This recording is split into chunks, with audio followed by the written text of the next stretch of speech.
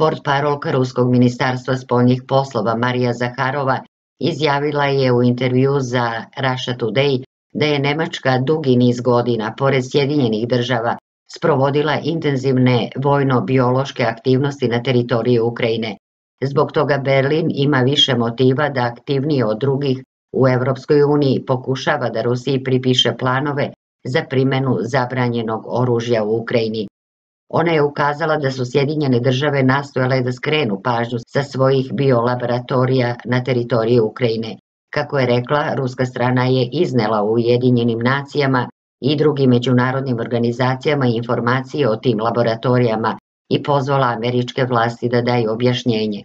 Zaharova je podsjetila da je zamenica američkog državnog sekretara Viktorija Nuland u martu tokom obraćanja u odboru Senata za spoljne poslove govorila o naporima koje preduzima Washington da bi spriječio da neki od tih materijala iz laboratorija dođu u ruske ruke. Takvo ponašanje američkih vlasti na prvi pogled neočekivano aktivno je podržalo nemačko rukovodstvo.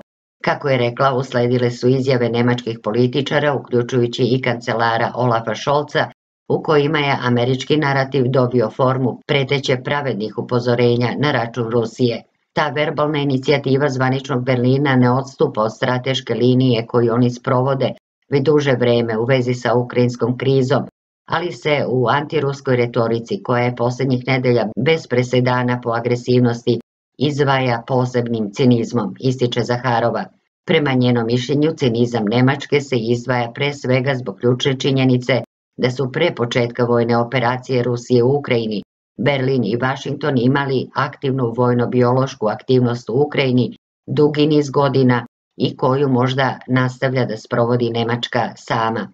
Ona je pozvala nemačke zvaničnike da prestanu da šire lažne informacije o navodnim namerama Rusije da u Ukrajini primene zabranjeno oružje, prenosi Sputnik.